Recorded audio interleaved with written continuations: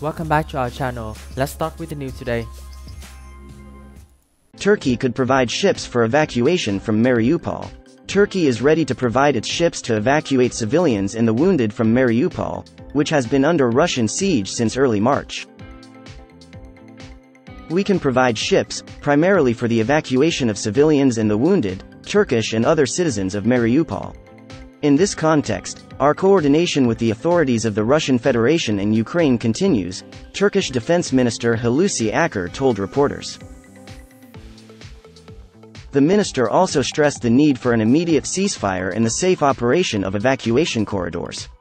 We continue to provide humanitarian assistance to the people of Ukraine. Turkey also provides evacuation support. Our support for the people of Ukraine will continue, the minister said.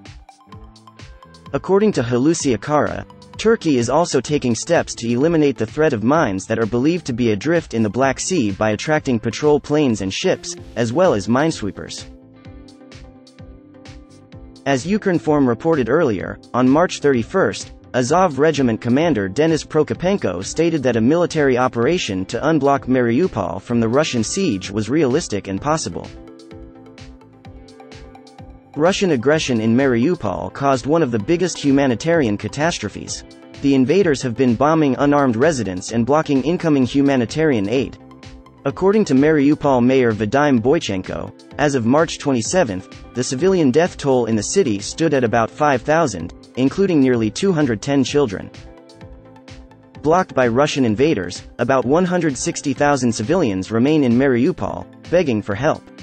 Mariupol has been turned into a huge ruin by Russian troops, with its residents fainting from starvation in the streets, while enemy bombs are burying alive those hiding in shelters.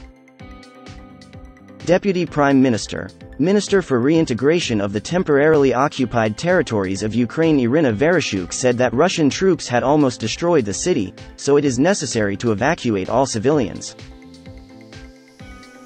This is the end of our news today. If you like this video, please like subscribe for our channel. Thanks for watching and see you next time.